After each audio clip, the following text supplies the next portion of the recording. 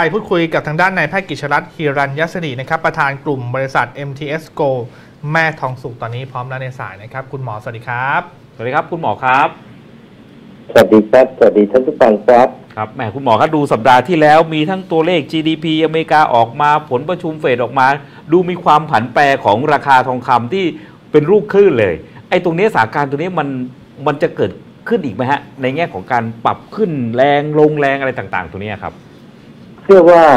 ตรงนี้จะจะเป็นอยู่อีกสักระยะหนึ่งประมาณหนึ่งเดือน ครับเอ่อเนื่องจากเราจะเห็นได้ว่าในช่วงที่ผ่านมาเนี่ย มันมีทั้งข่าวดีและข่าวร้ายครับที่เป็นบวกลบต่อทองคำไม่ว่าจะทำให้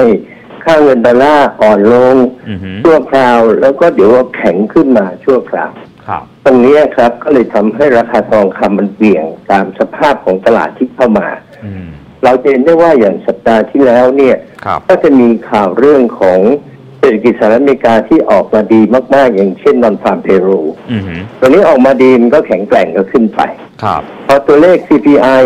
ออกมาต่ำลงอือฮึก็มีโอกาสที่เฟดน่าจะลดดอกเบี้ยนะอืมอะก็ทำให้ทองขึ้นไปอีกครับพอเฟดออกมาพูดว่าเอ๊ะเศรษฐกิจอย่างเนี้ยเฟดอืมอาจจะลดดอกเบี้ยเพียงครั้งเดียวครับ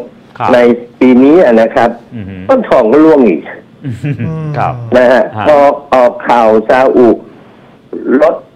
งดเรื่องปิโตรดอลลาร์ครับทองคำก็ดีดกลับขึ้นมาบ้างนิดหน่อยอ่าครับ ทั้งหมดทั้งหลายเนี่ยครับ มันก็เลยทำให้ราคาทองคำเนี่ยเวียงในกรอบระหว่าง 2,300 เหรียญถึง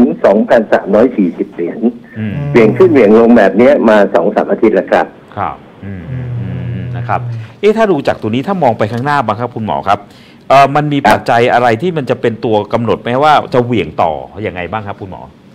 ปัจจัยหลักก็คือเรื่องตัวเลขเศรษฐกิจของสหรัฐอเมริกาอือฮึเรื่องของการลดดอกเบี้ยของเฟดครับน่า price in ไปค่อนข้างเยอะแล้วครับดังนั้นการเหวี่ยงเนี่ยมันจะลดแรงลงมาเรื่อยอืมๆนะครับครับแล้วปัจจัยหลักก็ไปดู